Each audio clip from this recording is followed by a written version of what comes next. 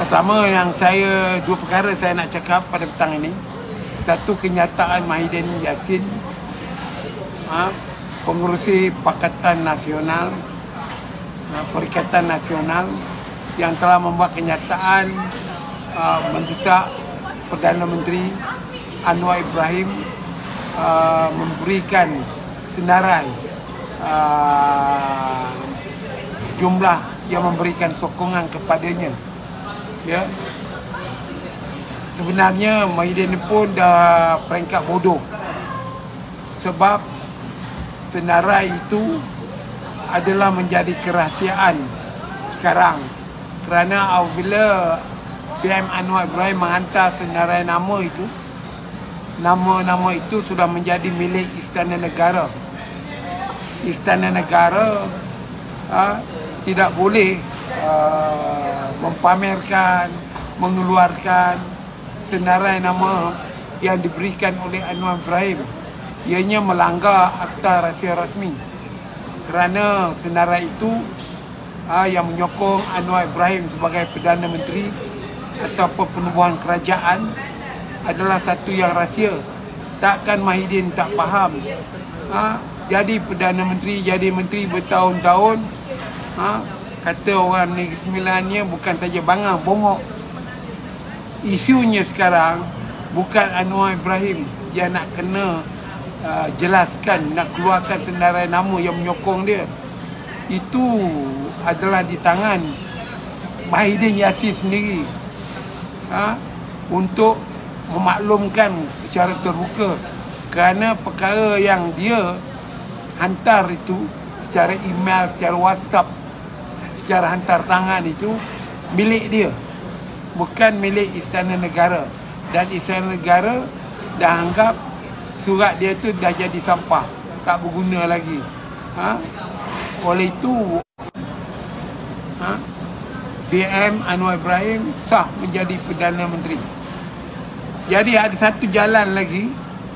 Kalau saya nak ajar nak sekolahkan Mahidin Yassin Haji Adi Awang dan juga Hamzah Zainuddin ada satu peluang lagi untuk uh, Perikatan Nasional mencabar uh, kesahihan, keabsahan Anwar Ibrahim dilantik jadi Perdana Menteri yang mana tidak mencukupi kota uh, majoriti yang berjumlah lebih kurang 112 ya.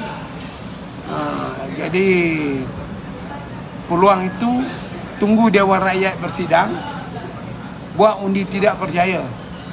Kalau benar Mahidin Yassin ada terima, dapat 115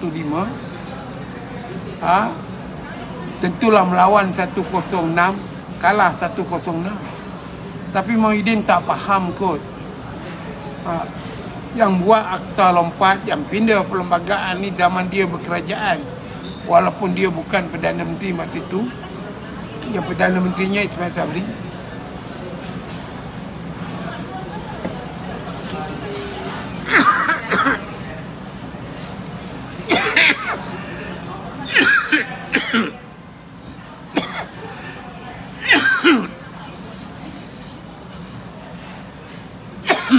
Perdana Menterinya Ismail Sabri Yaakob yang dimasukkan akta terlompat keluar daripada parti masuk parti yang lain bebas menyertai parti lain ha, dianggap kira melompat ya daripada mula dia bertanding. Dulu logo BN sekarang dia ni. Memang betul diakui bahawa daripada 115 katanya ada enam orang ahli parlimen Barisan Nasional ha, termasuk uh, Ismail Sabri Yaakob, Isyamuddin Hussein uh, tiga empat orang lagi dari UMNO menetangani SD untuk menyokong uh, Wahidin Yassin jadi Perdana Menteri.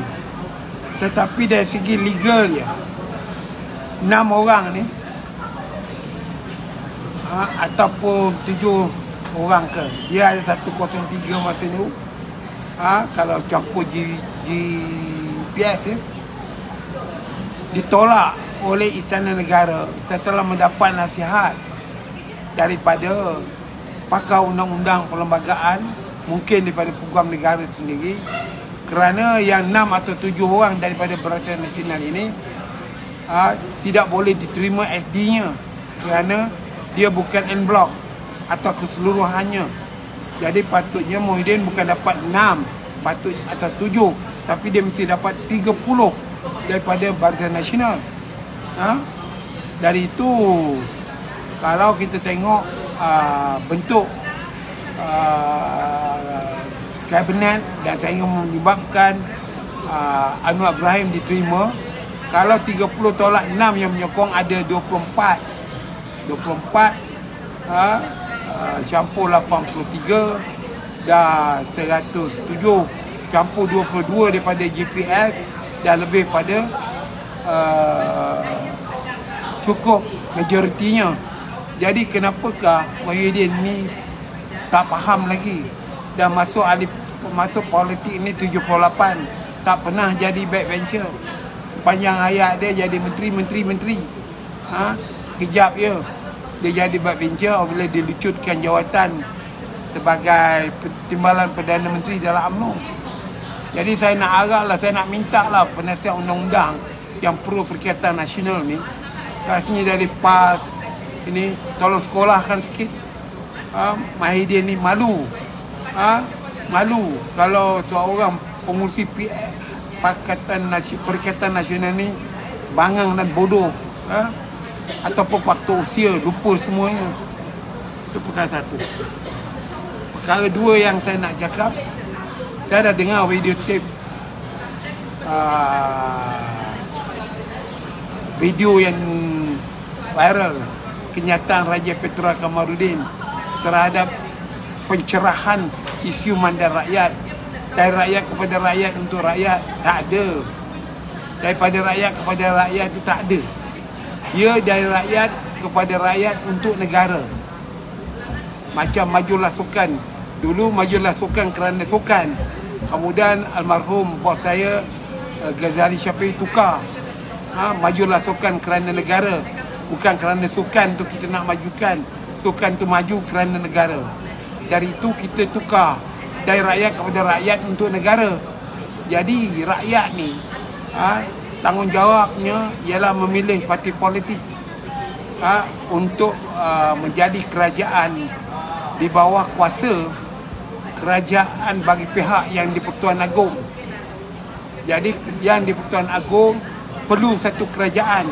Dia kuasa pemerintah di Malaysia ni. Sama ada pilihan raya ada ke tak ada ke dia adalah kuasa pemerintah yang boleh bertindak ha, mengikut bidang bicara dia. Sebab dia mewakili raja-raja Melayu.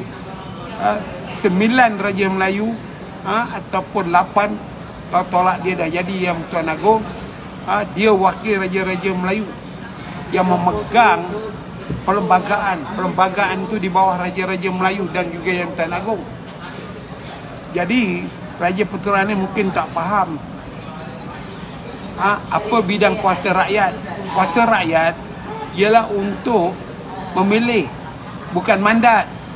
Memilih parti politik yang sehaluan dengan dia rakyat itu. Ha, cara bertindak dia, manifesto dia, hal tujuannya sesuai dengan selera dia. Dia pun pangkah. Menanglah uh, parti itu. Parti itu dilihat cukup majoriti maka dia akan menjadi kerajaan yang mewakili yang di Pertuan Agong. Kita bukan absolute monarki. Bukan seperti negara-negara lain. Ha? raja ni dah jelas dalam perlembagaan. Ha? semua kerja-kerja awam ni dah diwakilkan kepada rakyat untuk memilih bagi pihak dia. Jadi apabila kita mengundi ni sokong A, sokong B, sokong PS, sokong PM, sokong BN ni sebenarnya kita menjalankan tugas dan kehendak yang di Pertuan Agong bagi membantu baginda melantik satu kerajaan yang bagi pihak baginda yang bagi pihak baginda yang di Pertuan Agong. Tak ada kaitan langsung bahawa yang di Pertuan Agong terpisah daripada tindakan rakyat ha, melantik ahli-ahli parlimen atau ahli Dewan Negeri ini. Jadi ini yang saya nampak ha, uh, Raja Putra ada tidak faham sedikit. Saya tak kata dia bodoh. Ha? Saya kata dia sedikit tidak faham. Dari itu, perlembagaan membenarkan di dalam negara yang menjunjung perlembagaan ha, kita ada meletakkan dalam perlembagaan itu ha, bidang kuasa yang di Pertuan Agong ialah hak melantik Perdana Menteri. Itu jelas.